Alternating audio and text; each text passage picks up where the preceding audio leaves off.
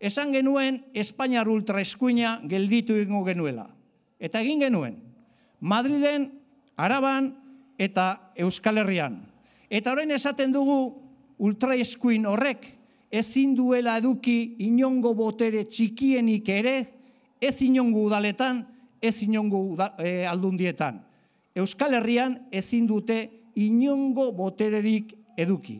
Eta horregataik hartzen dugun konpromisoa, hau da, Euskal Herria bilduren pean, bere botopean, aukera dauden tokietan, ultraeskuindarrak ez du edukiko inongo alkatetzarik, inongo botererik, inongo udaletan, inongo aldundietan. Hori da hartzen dugun konpromisoa. Eta bigarren bat hartzen dugu.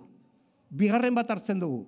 Euskal Herria bilduk ez du onartuko ez alkatetzarik, ez aldundirik, trifatxitoaren botoekin. Eta horregaitik, bi kompromiso haiek hartzen ditugu herriaren aurrean eta interpelazio bat egiten dugu. Jakin nahi dugu Eusko Alderdi Jeltzaleak pres dagoen eroez kompromiso hartzeko. Araban eta bereziki gazteizen hiru alderdi EH Bildu, PNV eta PPP iaia berdintuta gaude.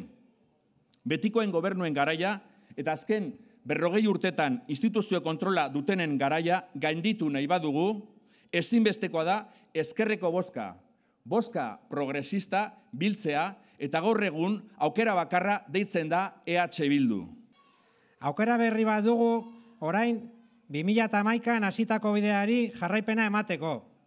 Parte hartzea, gardentasuna eta zintxotasuna dira gure kudeaketaren ezaugarriak.